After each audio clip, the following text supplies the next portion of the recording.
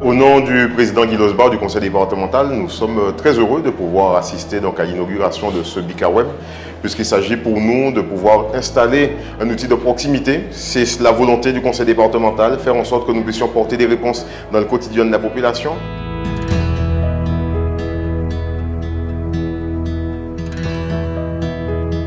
C'est un BIC web, c'est comme son nom l'indique, hein, c'est un BIC, donc ça signifie c'est un endroit où la population euh, se rencontre.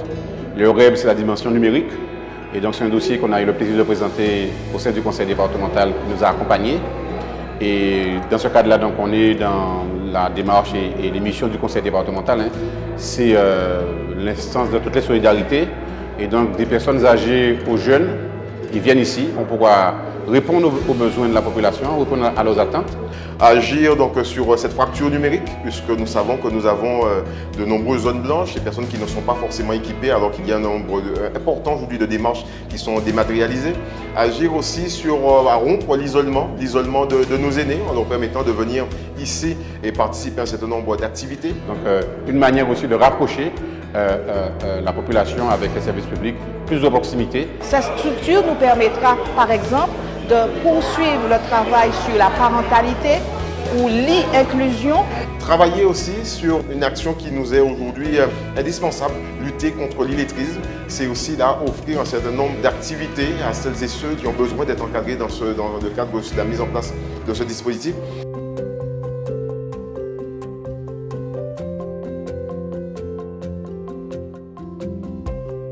Donc ici, on vient d'inaugurer pour une petite présentation rapide. Donc là, on a deux postes. Ce sera pour tout public. Là, on a l'espace coworking. Donc les gens, s'ils attendent leur tour, donc pour patienter, on a mis en place un Team Team Table. C'est un, jeu pédagogique quoi, qui parle de la Guadeloupe avec euh, questions-réponses. Vu qu'on a la maternelle juste à côté et le primaire, donc c'est prévu qu'on fasse un planning avec eux pour qu'ils puissent euh, venir euh, s'initier dès le plus jeune âge à l'outil informatique. Et qu'aujourd'hui à Cosinière, on prend cette dimension éducative dans ce lieu, ce n'est pas anodin. C'est auprès de l'école primaire de Cosinière et l'école maternelle de Cosinière une manière d'impliquer encore plus la communauté éducative au service de nos enfants.